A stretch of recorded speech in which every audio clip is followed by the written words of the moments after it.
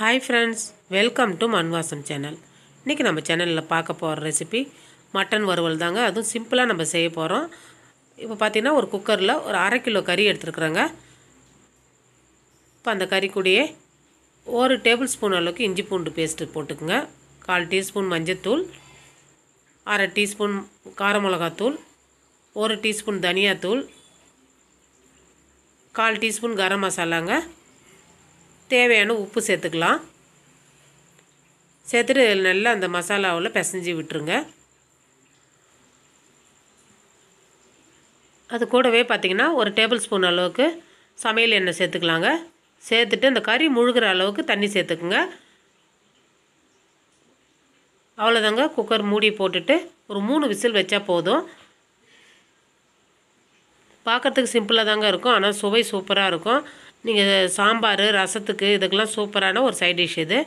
Whistle வந்துடுதுங்க அதில் இருக்கிற கேஸ்லாம் ரிலீஸ் ஆனதுக்கப்புறம் ஓப்பன் பண்ணி காமிக்கிறேன் பாருங்கள்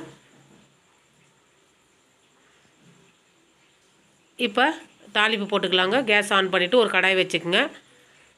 ஒரு ரெண்டு டேபிள் ஸ்பூன் அளவுக்கு எண்ணெய் விட்டுக்குங்க. கால் டீஸ்பூன் சோம்பு ஒரு பிரிஞ்சி இலை நாலு கிராம்பு நாலு ஏலக்காய். அது கூடவே கல்பாசிங்க. அது கொஞ்சமாக சேர்த்துக்குங்க.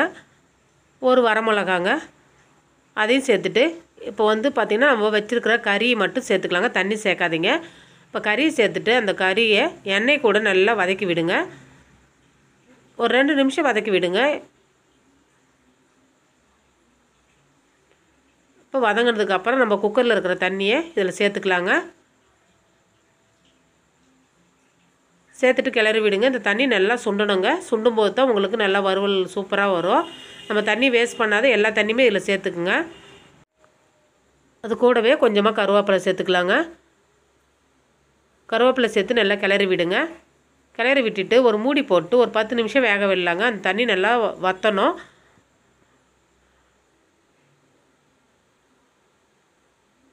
இப்போ இடையில இடையில கிளறி விட்டுக்கலாங்க. இப்போ இதில் நீங்கள் எந்த மசாலாவுமே சேர்க்க தேவையில்லைங்க. வேறு எதுவுமே செய்ய தேவையில்லை. தேங்காய் அரைச்சி விடுறதோ எதுவுமே தேவையில்லை. அப்படியே நல்லா சூப்பராக இருக்குங்க. தண்ணி நல்லா வத்திடுதுங்க. இந்த டைமில் நம்ம மிளகுத்தூள் சேர்த்துக்கலாங்க. ஒரு டீஸ்பூன் அளவுக்கு மிளகுத்தூள் சேர்த்துக்கலாம். மிளகுத்தூள் இறக்கும்போது சேர்த்து கிளறி விடுங்க. நல்லா சுவை சூப்பராக இருக்கும். மிளகுத்தூள் சேர்த்து ரொம்ப டைம் கொடுக்க தேவையில்லைங்க. ஏன்னா கசப்பு தன்மை வந்துடும் போட்டு ஒரு ரெண்டு நிமிஷத்துலேயே வதக்கி எடுத்துடலாங்க. கூடவே கருவேப்பிலை போட்டு இறக்கிடலாம்.